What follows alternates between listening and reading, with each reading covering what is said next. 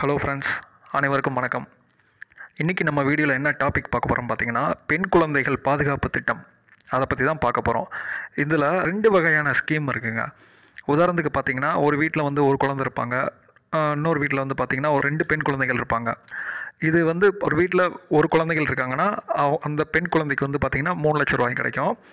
அதே இது ரெண்டு குழந்தைகள் இருக்காங்க பார்த்தீங்களா அவங்களுக்கு வந்து ஒன்றரை லட்சம் ஒன்றரை லட்சம் நிதி உதவி கொடுப்பாங்க.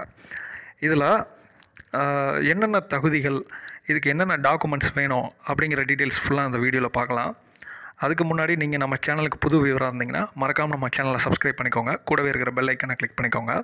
அப்போ தான் நாங்கள் போடக்கூடிய ஒவ்வொரு நோட்டிஃபிகேஷனும் இன்ஃபர்மேஷன்ஸ் எல்லாமே உங்களுக்கு ரீ ரீச் ஆகும். ஸோ மறக்காமல் நம்ம சேனலை சப்ஸ்கிரைப் பண்ணிக்கோங்க.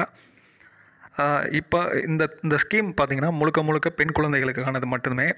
இதில் பெண் குழந்தைகள் கண்டிப்பாக படிச்சிருக்கணும்.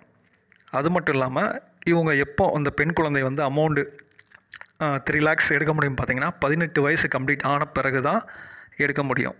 இதை வந்து கவர்மெண்ட்டு என்ன பண்ணுவாங்கன்னா அந்த பெண் குழந்தைக்கு சின்ன வயசுலேயே வந்து அவங்க ஸ்டடீஸில் இருக்கும்போதில் ஒரு அமௌண்ட்டு டெபாசிட் பண்ணிடுவாங்க இது பதினெட்டு வயசு கம்ப்ளீட் ஆன பிறகு நீங்கள் எடுத்துக்கலாம். ஃபார் எக்ஸாம்பிள் பார்த்தீங்கன்னா ஒரு வீட்டில் ஒரு குழந்தைங்க இரு- இருந்தாங்கன்னா அந்த குழந்தைக்கு வந்து மூணு லட்சம். இன்னொரு வீட்டில் ரெண்டு குழந்தைங்க ரெண்டு பெண் குழந்தைகள் இருப்பாங்க. அவங்களுக்கு ஒன்றரை லட்சம் ஒன்றரை லட்சம் நிதி உதவி அந்த மாதிரி கிடைக்கும். இந்த திட்டத்தின் நோக்கம் என்னன்னு கேட்டிங்கன்னா பெண் குழந்தைகளின் எதிர் எதிர்காலத்தை நோக்கி இந்த திட்டம் கொண்டு வரப்பட்டது. ஸ்கீம் ஒன்று இல்லை வந்து ரெண்டு ஸ்கீம் இருக்குங்க. ஒரு ஸ்கீம் பார்த்தீங்கன்னா வீட்டில் ஒரே ஒரு பெண் குழந்தை இருந்துச்சுன்னா அதுக்கு ஐம்பதாயிரம் டெபாசிட் பண்ணுவாங்க. ஸ்கீம் டூவில் வந்து பார்த்திங்கன்னா ஒரு வீட்டில் ரெண்டு பெண் குழந்தைகள் இருக்கிற பட்சத்தில் அந்த குழந்தைக்கு தலா இருபத்தைந்தாயிரம் இருபத்தைந்தாயிரம் அக்கௌண்ட்டில் செலுத்து போடுவாங்க. இது வந்து இந்த அமௌண்ட்டு வந்து எப்போனா பதினெட்டு வயசு. அந்த பெண் குழந்தைகளுக்கு கம்ப்ளீட் ஆன பிறகு தான் இந்த அமௌண்ட்டை எடுக்க முடியும். அதுக்கு முன்னாடி வந்து பார்த்து பார்த்திங்கன்னா அமௌண்ட் எடுக்க முடியாது. இதுக்கு என்னென்ன டாக்குமெண்ட்ஸ் கேட்குறாங்க அப்படின்னு சொல்லி பார்க்கலாம் இதுக்கு இன்கம் சர்டிஃபிகேட் வேணும் நேட்டிவிட்டி சர்டிஃபிகேட் வேணும் நோ மேல் சர்டிஃபிகேட் அப்படின்னா ஆண் குழந்தைகள் இல்லை அப்படின்னு சொல்லி சர்டிஃபிகேட் வாங்கணும். அதுக்கப்புறம் கம்யூனிட்டி சர்டிஃபிகேட் வேணும் பர்த் சர்டிஃபிகேட் வேணும் கருத்தடை சான்று சர்டிஃபிகேட் வேணும்.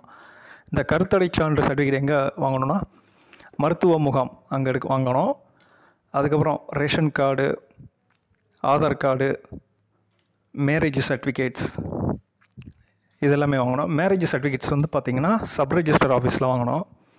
அதுக்கப்புறம் family photo age certificate TC அதாவது அப்பா அம்மா இல்லை யாரோடைய யாரோட டிசினாலும் இருக்கலாம்.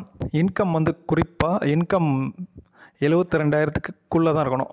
இவங்க எல்லாமே எலிஜிபிள் இந்த இந்த சர்டிஃபிகேட்ஸ் வந்து கண்டிப்பாக இந்த சர்டிஃபிகேட்ஸ்லாம் ப்ரொவைட் பண்ணணும். ஸோ இந்த ஸ்கீமுக்கு நீங்கள் அப்ளை பண்ணுறவங்க இந்த சர்டிஃபிகேட்ஸ் வந்து எல்லாமே நீங்கள் அட்டாச் பண்ண அனுப்பணும்.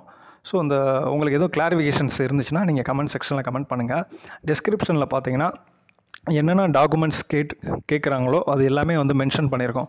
ஸோ அதை ஒருக்க ரீட் பண்ணிக்கோங்க. தேங்க்யூ